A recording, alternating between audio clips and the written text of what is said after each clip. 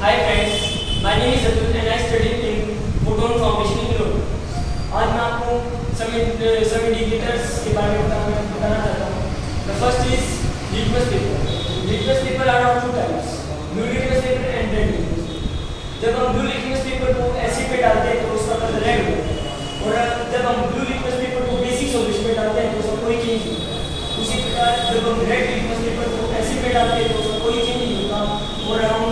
में डालते हैं तो उसका the second indicate the second synthetic indicator is phenolphthalein जब हम phenolphthalein को एसिडिक सॉल्यूशन में डालते हैं तो उसका कलर लेस हो जाता है तो नो चेंज है और जब हम इसको बेसिक सॉल्यूशन में डालते हैं तो उसका कलर पिंक हो जाता है सच दैट मिथेन ऑरेंज को जब हम एसिड में डालते हैं तो उसका कलर रेड हो जाता है और जब हम मिथेन ऑरेंज को बेसिक सॉल्यूशन में डालते हैं तो उसका कलर येलो हो जाता है and a natural indicator is also turmeric जब हम टर्मरिक को एसिडिक सॉल्यूशन में डालते हैं तो उसका कलर येलो हो जाता है और जब हम टर्मरिक को बेसिक सॉल्यूशन में डालते हैं तो उसका कलर रेड हो जाता है नाउ अब हम इन इंडिकेटर्स को लेके ये देखेंगे कि कौन सा सॉल्यूशन एसिडिक है कौन सा कौन सा सॉल्यूशन बेसिक है we are taking solution of soap and an acidic solution of lemon. We are taking a test tube stand, test tubes, test tube holder, sponge, turmeric, blue and red litmus paper,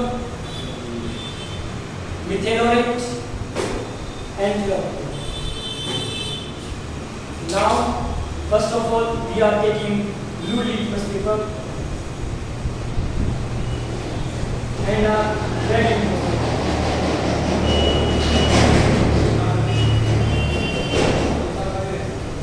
जब हम red litmus paper को basic solution में डालते हैं तो ये हम देख सकते हैं कि इसका कलर ब्लू हो गया और जब हम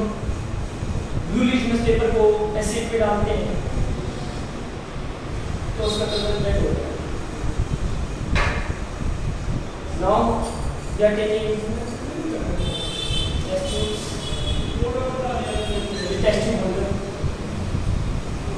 we are taking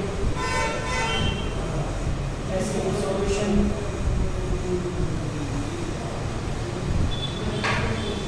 and,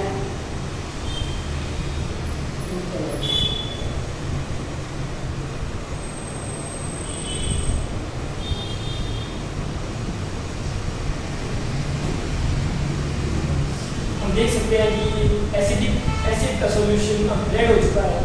जो कि मिथेन ऑरेंज की वजह से हुआ है अब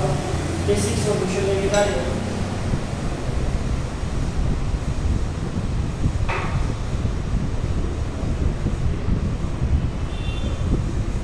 हम इसमें मिथेन ऑरेंज मिलाते हैं। तो इसका कलर येलो तो ये बताता है येलो कलर हमारा बेसिक सॉल्यूशन है और रेड कलर हमारा एसिडिक सॉल्यूशन अब हम एक अदर टेस्ट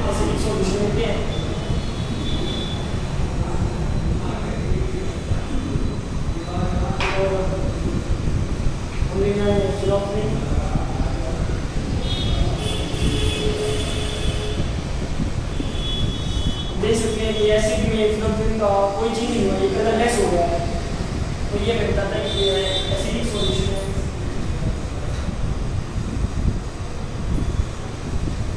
अगर हम दूसरे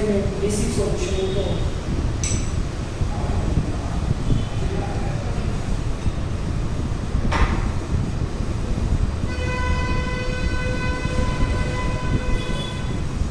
हम देख सकते हैं कि फिनोक्सिन की वजह से बेसिक सॉल्यूशन हम पूरी तरह से डिफरेंट टाइप्स ऑफ़ इंडिकेटर्स की वजह से हम चेक कर पाए कि ये एसिडिक सॉल्यूशन है या बेसिक सॉल्यूशन है। तो थैंक्स हमारे चैनल को प्लीज़ सब्सक्राइब करिए और लाइक करें